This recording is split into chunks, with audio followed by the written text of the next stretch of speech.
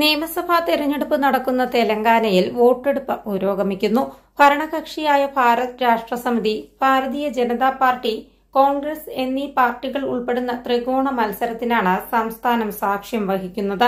നൂറ്റി പത്തൊൻപത് മണ്ഡലങ്ങളിലേക്കാണ് വോട്ടെടുപ്പ് നടക്കുന്നത്. രാവിലെ ഏഴ് മണിക്ക് വോട്ടെടുപ്പ് ആരംഭിച്ചു. നിലവിലെ മുഖ്യമന്ത്രിയും പി ആർ എസ് സ്ഥാപകനുമായ കെ ചന്ദ്രശേഖർ റാവു രണ്ട് സീറ്റുകളിൽ മത്സരിക്കുന്നുണ്ട്. ഗജ്വൽ കാമറട്ടി എന്നിവിടങ്ങളിലാണ് കെ സി ആർ മത്സരിക്കുന്നത്.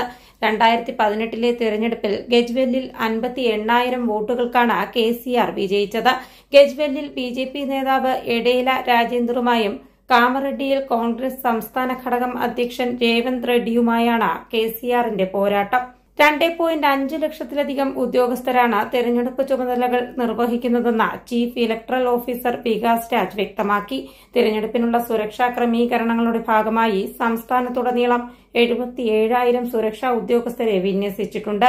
സംസ്ഥാനത്തു നിന്നും അയൽ സംസ്ഥാനങ്ങളിൽ നിന്നുമുള്ള സംസ്ഥാന പോലീസും ഹോംഗാർഡുകളും ഉൾപ്പെടുന്ന മുന്നൂറ്റി എഴുപത്തിയഞ്ച് കമ്പനി കേന്ദ്ര സായുധ പോലീസ് സേനയെയും സംസ്ഥാനത്തുടനീളം വിന്യസിച്ചിട്ടുണ്ട്. News desk India today.